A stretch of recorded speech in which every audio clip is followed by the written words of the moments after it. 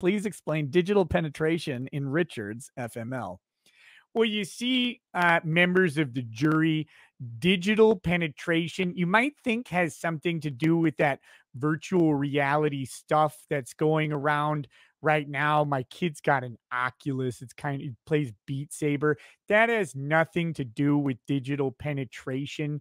We're actually talking about using fingers as an appendage to stimulate sexual organs internally. Uh, I hope that helps.